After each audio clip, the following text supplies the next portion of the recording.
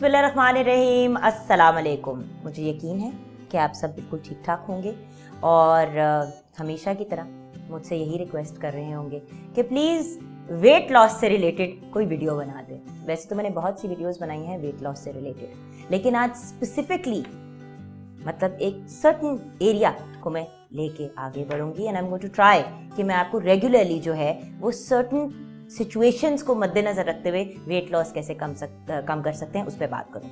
आज I want to talk about weight loss यानी कि वेट कम करना प्रेगनेंसी के बाद। बहुत सी खातन बहुत सी खातन मुझसे रेगुलरली ये सवाल करती हैं कि प्रेगनेंसी के बाद वेट कैसे कम करें। क्योंकि मैं खुद एक ऐसी प्रेगनेंसी से गुजर चुकी हूँ, जो मेरी फ़र्स्ट प्रेगनेंसी थी विद हमज़ा।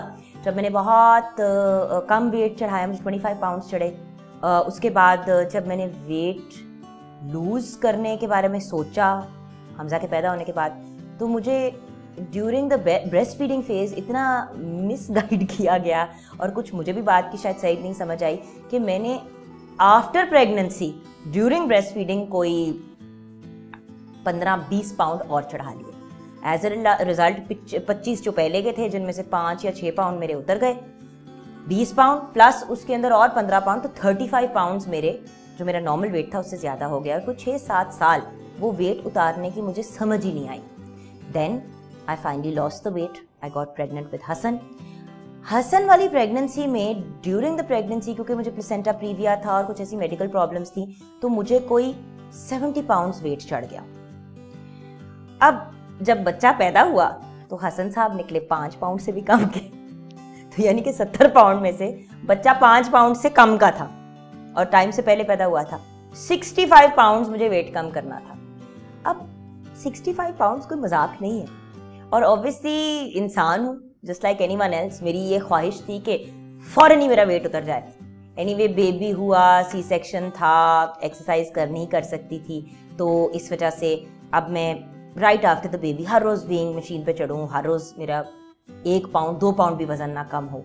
फिर उसके बाद ऑब्वियसली uh, जब लाइफ इन प्रोसेस आई तो वेट उतरना शुरू हो गया। ऑब्वियसली कुछ तो एक्सेस वेट वैसे ही था uh, जो वाटर रिटेंशन और बाकी चीज़ें थी। लेकिन जब वो पहले छः हफ़्ते निकल गए आफ्टर द बेबी तो फिर जाके मुझे समझ आई कि भाई एक्चुअली मुझे कोई चालीस को पाउंड कम करने हैं। सो सेवेंटी से फोर्टी पे अब हम आ गए। अब कुछ चीज़ें हैं जो बहुत ज़रूरी हैं याद रखना जो मैंने न्यूट्रिशनिस्ट से ट्रेनर से जैसे पर्सनल ट्रेनर्स जो एक्सरसाइज वगैरह कराते हैं जिनका एक्सपीरियंस होता है लोगों के वेट लॉस कराने में और डॉक्टर से डिस्कस किया है। सो so, न्यूट्रिशनिस्ट से भी मैंने बात की गायनकोलॉजिस्ट से भी बात की एंड ऑल्सो ट्रेनर से भी। और आज जो इन्फॉर्मेशन आपके साथ शेयर करूँगी वो सबकी एक कलेक्टिव जो इन्फॉर्मेशन और ओपिनियंस हैं उससे रिलेटेड है। सबसे पहले तो पहले सिक्स वीक्स में एक तो जब हम मतलब बेबी पैदा करने के बाद पहले छः हफ़्ते तक आप ज़रूर हल्की फुल्की एक्सरसाइज करें और थोड़ा सा अपने सिस्टम को एक्टिव करना शुरू करें। अगर आपका सिजेरियन नहीं हुआ तो। अगर आपका सी सेक्शन हुआ है तो वॉक वगैरह आप कर सकते हैं, लेकिन एब और एबडोमिनल एक्सरसाइजेस को आपने अवॉइड करना है, क्योंकि ऑब्वियसली मेजर मसल्स कटे होते हैं। अब सिक्स वीक्स के बाद जब आप एक्सरसाइज करना शुरू करेंगे या मतलब प्रॉपर डाइटिंग की तरफ़ आएँगे तो उससे पिछले छः हफ़्ते आपने क्यों नहीं किया? ये अंडरस्टैंड करना इम्पोर्टेंट है। चाइल्ड बर्थ एक बहुत बड़ा चेंज है जिसके थ्रू बॉडी जाती है।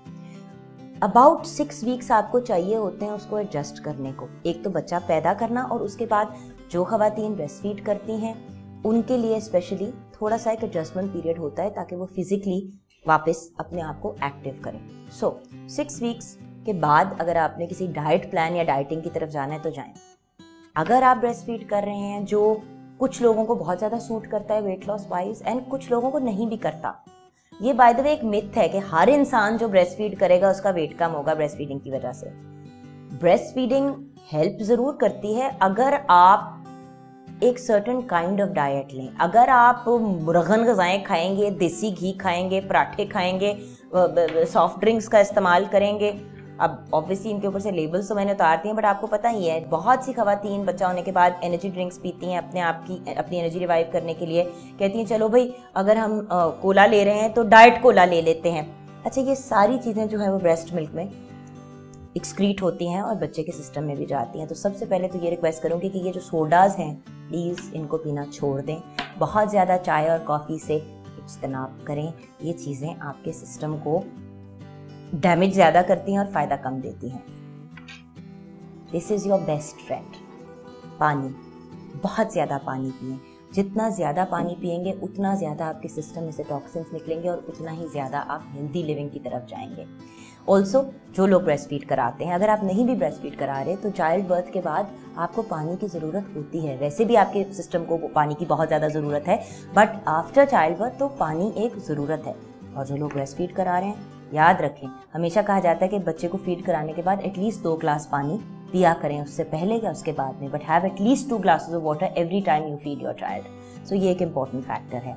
बाथरूम प्लीज़ रेगुलरली जाएँ. बहुत सी खातन बच्चा होता है क्योंकि वो घबराई भी होती हैं और हर वक्त बच्चे के सर पे हवर करी होती हैं तो बाथरूम नहीं जाती हैं. So please whenever you need to go to the bathroom किसी को बच्चे के सर पे दो minute बैठाएँ go to the bathroom and come back regularly bathroom जाने से यूरिनेट करने से आपके सिस्टम से टॉक्सिन्स निकलते हैं। नींद नींद पूरी करना बहुत ज़रूरी है। अब मुझे पता है, दो बच्चे मैंने भी पाले हैं और पाल रही हूँ। नींद पूरी करना बड़ा मुश्किल हो जाता है, लेकिन थोड़ा सा सपोर्ट ले लें अपनी फैमिली से अपनी मदर से, अपनी मदर इन लॉ से, अपनी नन से, अपनी बहन से, किसी हस्बैंड से होपफुली हस्बैंड इतने सपोर्टिव तो होंगे। दिन में आठ घंटे की नींद आपके लिए ज़रूरी है। अगर आप नींद नहीं पूरी करेंगे, आपकी बॉडी स्ट्रेस में आएगी। स्ट्रेस रिलीज़ करता है कोर्टिजोल आपके सिस्टम में। वो वेट लॉस इनहिबिटर है। तो अगर आपकी बॉडी में स्ट्रेस ज़्यादा होगी तो तब भी आपका वेट कम नहीं होगा। अगर आपकी नींद नहीं पूरी होगी, तब भी आपका वेट कम नहीं होगा। और एक बहुत मेजर चीज़, दो पाउंड से ज़्यादा, डेढ़ से दो पाउंड से ज़्यादा पर वीक कम करने की कोशिश मत करें। छः हफ़्ते गुजर गए, जो आपकी वाटर टेंशन सारा कुछ वो नॉनसेंस निकल गई। छः हफ़्ते के बाद हर हफ़्ते दो पाउंड से ज़्यादा कम करने की कोशिश मत करें। अगर नेचुरली हो जाता है, वो और बात है। लेकिन ज़बरदस्ती अपने बॉडी को स्टावेशन मोड में नहीं डालना। देखिए बॉडी को नौ महीने लगे वज़न चढ़ने में तो उसको कम अज़ कम नौ महीने तो देना उस वज़न को उतारने के लिए भी। एक नॉर्मल स्टेबल हेल्दी लाइफस्टाइल बड़ा इंपॉर्टेंट है। अपनी ज़िंदगी से स्ट्रेस को ज़रा रिड्यूस करें। अगर आपने बच्चे को, को का हंड्रेड परसेंट खुद ख्याल रखती हैं तो फिर आपका फोकस ये होना चाहिए। घर में किसी और को जिम्मेदारियाँ दे दें बाकी चीज़ें करने की। वरना आप भी सफ़र करेंगे बच्चा भी सफ़र करेगा एंड एज अ रिज़ल्ट आपका हस्बैंड वाइफ का जो एक रिलेशनशिप है वो भी सफ़र करेगा। सो so, थोड़ा सा स्ट्रेस लेवल को रिड्यूस करें। अच्छा यहाँ पे प्रोसेस्ड फूड्स जैसे कि मैंने कहा कोलाज वगैरह को अवॉइड करना है तो प्रोसेस्ड फूड्स को भी अवॉइड करें। अगर आपका जी चाह रहा है फॉर एग्जांपल पराठा खाने का तो चक्की का आटा, जिसमें एक्स्ट्रा फाइबर मिला हुआ है, उसको देसी घी में या मक्खन में बना लें। हम एक्चुअली बहुत गलत किस्म की चीज़ें यूज़ करते हैं। प्रोसेस फूड्स में ऑयल्स भी आ जाते हैं। तो कोशिश करें कि वो वाले ऑयल्स इस्तेमाल करें जो आपकी सेहत के लिए अच्छे हैं। देसी घी आपकी सेहत के लिए अच्छा है। मक्खन, देसी मक्खन जो होता है वो आपकी सेहत के लिए बहुत अच्छा है। उसके अलावा ऑलिव ऑयल हो गया कोकोनट ऑयल हो गया, सरसों का तेल आपकी सेहत के लिए बहुत अच्छा है। ये जो दूसरे वाले ऑयल्स आपको मार्केट से मिलते हैं डीप फ्राइंग वगैरह के लिए, थोड़ा सा उसको अवॉइड करें स्पेशली इस टाइम में।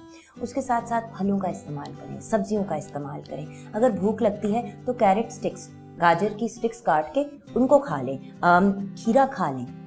और कोशिश करें कि पाँच से सात दफ़ा दिन में कुछ ना कुछ थोड़ा थोड़ा करके खाते रहें राधे दिन बड़ी बड़ी मील्स खाएँ। कभी कभी होता है, निहारी खाने को दिल जाता है। ज़रूरी नहीं है कि दो नान, मगज़, नली तड़के के साथ खाएँ। आधा नान का पीस भी आप खा सकते हैं या चपाती के साथ उसी निहारी को खा सकते हैं। थोड़ा सा अपनी डाइट को मॉडिफाई करना पड़ेगा। एक्सरसाइज को आपकी ज़िंदगी का रेगुलर हिस्सा बनना पड़ेगा। बिकॉज़ देखें बॉडी ऐसे मेजर चेंजेस से गुजरती है कि जब तक आप वर्कआउट नहीं करेंगे तो आपकी बॉडी जो है वो वापस शेप पे नहीं जाएगी। बहुत सी लड़कियाँ प्रेगनेंसी के बाद उसी वेट पे चली जाती हैं जिस वेट पे वो पहले थी लेकिन उनकी बॉडी की शेप खराब हो जाती है। ऑब्वियसली क्योंकि एक प्रेगनेंसी एक पेट निकला वापस गया सो so, पॉइंट ये नहीं है कि आपने स्किनी होना है। पॉइंट ये होना है कि आपने स्किनी अगर होना है तो वो चले आपकी चॉइस है। आपने फिट होना है। फिट होने में और पतले होने में ज़मीन आसमान का फ़र्क होता है। और ये दोनों चीज़ें कंबाइन करने के लिए एफर्ट्स करने पड़ते हैं। सो so, मेरी रिक्वेस्ट है for all the lovely people out there who are trying to have babies कि बेबी होने के बाद फास्ट फॉरवर्ड का बटन दबाने के बजाय आराम से इतमान से तहमुल से चीज़ों को करें बिकॉज़ जो खातन बहुत ज़्यादा स्पीड से वेट लूज़ करती हैं वो पतली ज़रूर हो जाती हैं। बॉडी आउट ऑफ़ शेप हो जाती है स्किन ख़राब हो जाती है स्किन पे रिंकल्स आ जाते हैं झुरियाँ आँखों के नीचे एंड वो जो बहुत बड़े डार्क सर्कल्स हो जाते हैं और बाल गिरने शुरू हो जाते हैं। सो so, इन चीज़ों को अवॉइड करें और थोड़ा सा अपनी बॉडी को तरीके से आगे लेके चलें। अब एक्सरसाइज कितनी करनी चाहिए? Ideally six days a week but four days a week भी अगर आप करते हैं 45 मिनट्स एक्सरसाइज तो वो काफ़ी है। बहुत सी फिटनेस वीडियोस आपको ऑनलाइन मिलती हैं। आ, मैंने भी बहुत सी वीडियोस बनाई हैं जो आप लोग देख सकते हैं। अदरवाइज़ एज वेल एक्सरसाइज करें। घर पे ही रह के एक्सरसाइज करें। बेबी आपका नैप कर रहा है आप चुप करके अपनी वीडियो लगा के उसके ऊपर एक्सरसाइज कर लें। इतना मुश्किल नहीं है जितना हम बनाते हैं। अगर हम थोड़ा सा फोकस के साथ चलें। जो घर में चीज़ें बन रही हैं, वही खाएँ। प्रोटीन का ज़्यादा इस्तेमाल करें स्पेशली अगर आप ब्रेस्ट फ़ीड करें क्योंकि आपकी बॉडी को प्रोटीन की ज़रूरत है। सिर्फ़ दूध नहीं पीते जाना बार बार ज़रूरी नहीं है कि दूध आपको भी पर्सनली इतना सूट करता हो। चीज़ खा लें पनीर मतलब कॉटेज चीज़ खा लें। साग का इस्तेमाल करें, उसमें आयन होता है। So nutrients and vitamin rich food खाएँ। अपने फैट के कंटेंट को रिड्यूस ज़रूर करें, जो आप ऑयल वगैरह यूज़ करते हैं, लेकिन जब यूज़ करें तो सही वाला यूज़ करें। प्रोसेस फ़ूड से दूर रहें सॉफ्ट ड्रिंक्स को अवॉइड करें, पानी पिए। अगर कोई चीज़ खाने को बहुत ज़्यादा दिल चाहता है, उसको खा लें।